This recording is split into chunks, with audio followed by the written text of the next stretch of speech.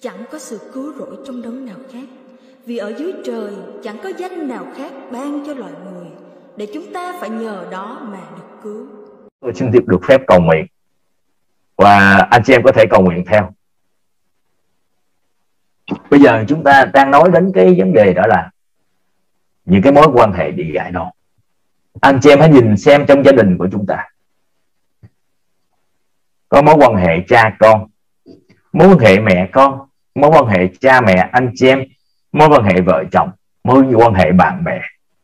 Những mối quan hệ anh em trong hội thánh đang có sự đổ vỡ, đang nghi ngờ, nó đang đến những cái sự tổn thương. Và chúng ta đang hình dung mà chúng ta đang nhìn thấy rằng có hình ảnh của Satan ở trong đó chứ. Chúng ta hãy nhân danh Chúa Giêsu mà đuổi nó đi. Và chúng ta hãy cầu nguyện xin Chúa ngài dùng con là người đem sự hòa bình cho gia đình của mình, cho hội thánh của Chúa và cho anh em con để con là người đem sức mạnh đến cho hội thánh của Chúa chứ không phải đem cho hội thánh bị bị mất sức lực. Thấy không? Anh em biết không? Ngày hôm nay đó khi người ta bị chia rẽ khi người ta bị tổn thương đó thì trong lòng của con cái của Chúa bị giáp phạm. Khi người ta bị giáp phạm rồi đó thì lòng yêu mến Chúa của người họ nguội dần đi. Khi chưa bị tổn thương chưa bị gì hết á họ hăng say làm chứng lắm. Họ hăng say đi thăm viếng anh em mình lắm bây giờ khi họ bị tổn thương rồi anh chị em biết không? Họ không có muốn gọi điện thoại cho nhau nữa. Họ không muốn đến hội thánh nhóm nữa. Có rất nhiều người lìa bỏ Chúa. Có rất rất nhiều gia đình là nguội lạnh là bởi sự tổn thương bởi những cái mối quan hệ gãy đổ mà không được giải quyết. Xin Chúa ngài xin Chúa ngài phục hồi anh chị em. Amen.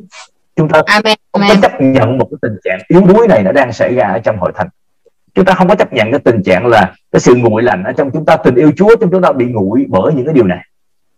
Chúng ta phải là người nóng cháy tình yêu thương Chúa tràn trề để đem lan tỏa tình yêu Chúa cho mọi người, phải không?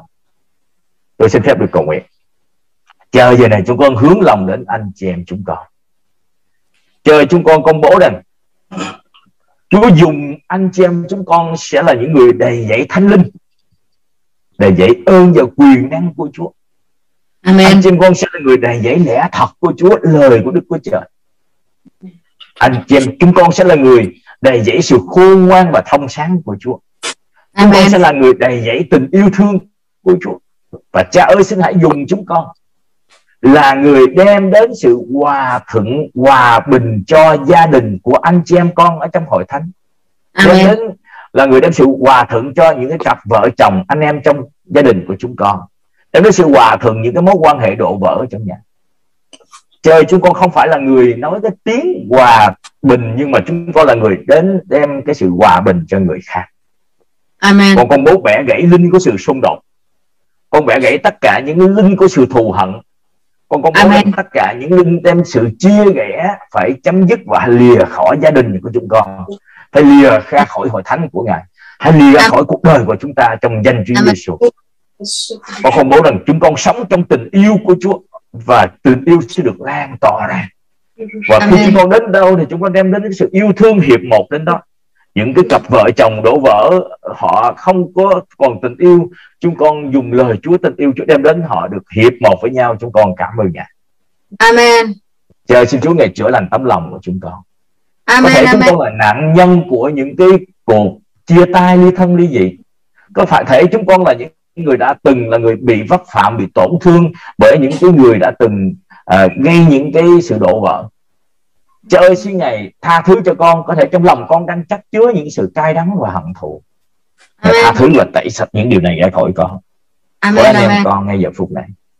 Để ngay giờ phút này chúng con được chữa lành được tự do. Chúng con nhận được ơn và quyền năng của Chúa. Chúng con nhận được sự sống của Chúa Đem đến sự chữa lành Đem đến sự hòa thuận cho người khác Amen, Amen. Chúa ơi Chúa dùng chúng con Chúa gọi chúng con là con của Ngài Vì chúng con là người đem đến sự hòa thuận Con cảm ơn Ngài Xin Amen, Amen. linh tình yêu thương linh có sự hiệp một và linh có sự hòa thuận của Chúa xin đến trên chúng con xin đến Amen, trên gia Amen. đình của chúng con xin đến trên Amen. hội thánh của Ngài xin đến trên anh chị em chúng con để chúng con Amen. sẽ cùng một tâm tình cùng một tư tưởng cùng cái sự kêu gọi cùng ở trong thánh linh của Chúa cùng lớn Amen. mạnh và mạnh mẽ để xây dựng vương quốc của Cha chúng con Amen. cảm ơn Chúa chúng con dâng tất cả các anh em chúng con cho ngài chúng con chân thành cầu nguyện trong danh Chúa Giêsu Christ Amen Amen, Amen.